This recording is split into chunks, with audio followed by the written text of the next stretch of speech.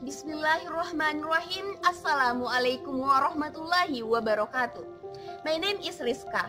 I am the student from Alauddin State Islamic University of Makassar. In this video, I would like to deliver my opinion regarding youth Muslim role in facing new normal world life society.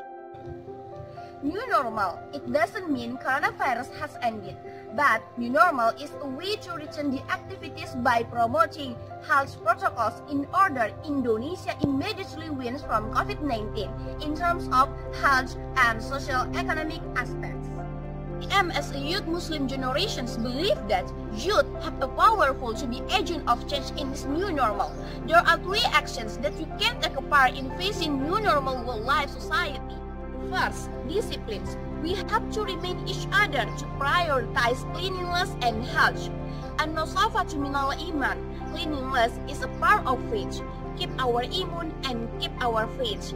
Such as washing our hands, wearing a mask, and consume nutrition food. The second is education.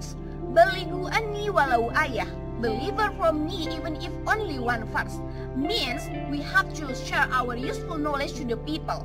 Based on my major in this education department, I provide to teach English by social media.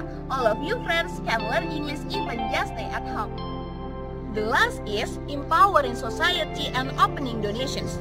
Youth can take a part by providing training how to get income or how to be entrepreneur in this new normal era and then opening donation to the people how really did it.